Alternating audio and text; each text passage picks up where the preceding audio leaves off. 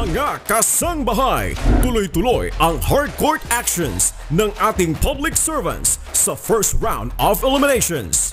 Sa December 18, 2022 sa Paco Arena.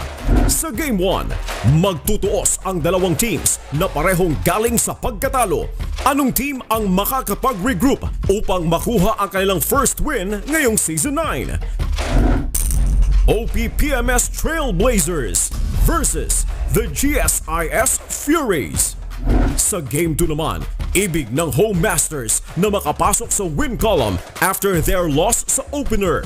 Ibig naman na mapalakas ng Graph Busters ang kanilang chance na makausad sa next round. Ombudsman Graph Busters kontra NHA Home Masters. At sa Game 3, banggaan ng malalakas.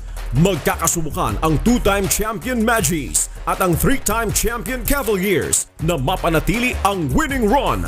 Judiciary Magis laban sa AFP Cavaliers.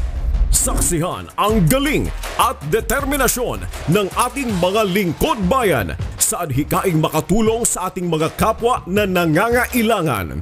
Ito ang UNTV Cup, ang Liga ng Public Servants.